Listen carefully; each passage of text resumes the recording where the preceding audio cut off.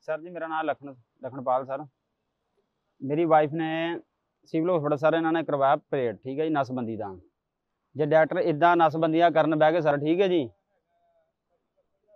ਹੁਣ ਇਹ ਗਏ ਨਸਬੰਦੀ ਇਹਨਾਂ ਨੇ ਕਰਵਾਈ ਹੈ, ਡਾਕਟਰ ਕੋ ਗਏ ਆ ਦੁਬਾਰਾ ਫੇਰ। ਤੇ ਉੱਥੇ ਵੀ ਸਰ ਚੈੱਕ ਕਰਾਉਣ, ਇਹ ਜਾਂਦੇ ਟੈਂਕੇ ਖਲਾਉਣ 10 ਦਿਨਾਂ ਬਾਅਦ ਗਏ ਆ। ਤੇ ਡਾਕਟਰ ਨੇ ਹਰਦੇ ਬਿਨਾਂ ਕਿਹਾ ਵੀ ਸਾਨੂੰ ਮਹਾਮਾਰੀ ਨਹੀਂ ਆਂਦੀ ਤੇ ਇਹਨਾਂ ਨੇ ਡਾਕਟਰਾਂ ਨੇ ਕਿਹਾ ਜੀ, ਕੋਈ ਗੱਲ ਨਹੀਂ ਦਾ ਹੋ ਜਾਂਦਾ 2-3 ਮਹੀਨੇ ਲੱਗਦੇ ਨੇ। ਅਸੀਂ ਚਲੋ ਫਿਰ ਵੇਟ ਕੀਤੀ। ਅਸੀਂ ਫਿਰ ਗਏ ਆ ਡਾਕਟਰ ਕੋ ਹਰਸ਼ਦੀਪ ਗਏ ਨੇ, ਇਹਨਾਂ ਅਲਟਰਾਸਾਊਂਡ ਕਰਵਾਈ ਹੈ। ਬੱਚਾ ਹਰ 5 ਮਹੀਨਾ ਨਿਕਲਿਆ ਆ। ਜੇ ਇਦਾਂ ਦੀ ਸਰ ਨਸਬੰਦੀਆਂ ਹੋਣ ਬਹਿ ਗਏ ਇਦਾਂ ਤਾਂ ਮੈਨੂੰ ਰੱਖ ਲੈ ਫਿਰ ਮੈਂ ਵੀ ਕਰ ਦੂੰਗਾ ਸਾਰੇ ਇਦਾਂ ਨਸਬੰਦੀਆਂ। ਇਦਾਂ ਜਣਾ ਮੈਂ ਖਾਣਾ ਘਰੇ ਵੀ ਕਰ ਲੇਗਾ ਡਿਮਾਂਡ ਸਰ ਸਾਡੀ ਇਹੋ, ਸਾਡੇ ਬਾਰੇ ਕੋਈ ਸੋਚਿਆ ਜਾਵੇ ਸਰ ਸਾਡੇ ਅੱਗੇ ਦੋ ਸਰ ਬੱਚੇ ਨੇ।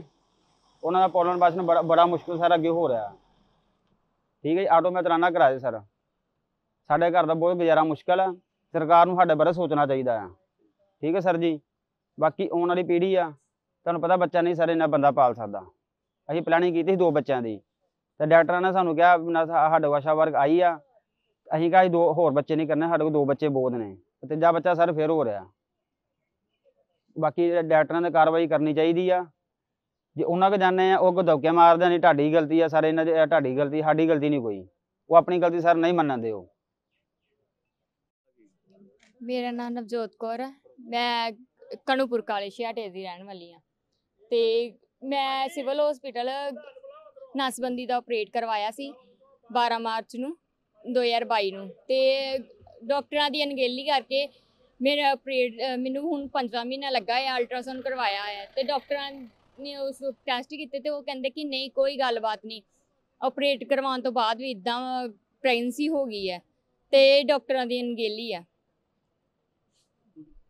ਸਾਡੀ ਇਹੀ ਡਿਮਾਂਡ ਹੈ ਕਿ ਹੁਣ ਸਰਕਾਰ ਸੋਚੇ ਜੋ ਵੀ ਬੱਚੇ ਦਾ ਵਾ ਅਸੀਂ ਤੇ ਬੱਚੇ ਨੂੰ ਪਾਲ ਨਹੀਂ ਸਕਦੇ ਤੇ ਸਰਕਾਰ ਪਾਲੇ ਇਸ ਬੱਚੇ ਨੂੰ। ਜਿਹੜਾ ਮਾਮਲਾ ਸਾਹਮਣੇ ਆਇਆ ਲੜਕੀ ਦੀ ਪ੍ਰੈਗਨੈਂਸੀ ਹੋਈ ਹੈ 5 ਮਹੀਨੇ ਦੀ।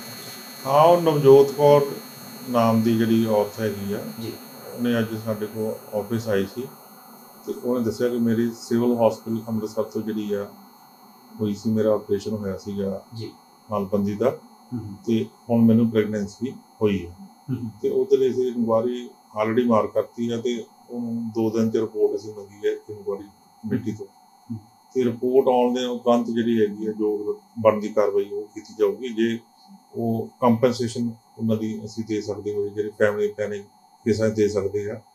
ਜੇ ਉਹਦੇ ਵਿੱਚ ਫਾਲ ਕਰਦਾ ਕੇਸ ਤੇ ਉਹ ਕੰਪਨਸੇਸ਼ਨ ਵੀ ਦਿੱਤੀ ਜਾਊਗੀ ਉਹਨਾਂ ਨੂੰ। ਇਸ ਤੋਂ ਇਲਾਵਾ ਕੇਸ ਲੈਵਲ ਤੇ ਜੇ ਕੋਈ ਅਣਗਹਿਲੀ ਹੋਈ ਆ ਤੇ ਉਹ ਐਂਗਲ ਤੋਂ ਵੀ ਉਹਨੂੰ ਇਨਕੁਆਰੀ ਨੂੰ ਦੇਖਿਆ ਜਾਏਗਾ ਤੇ ਉਹ ਜੋ ਬਣਦੀ ਕਾਰਵਾਈ ਕੀਤੀ ਜਾਏਗੀ।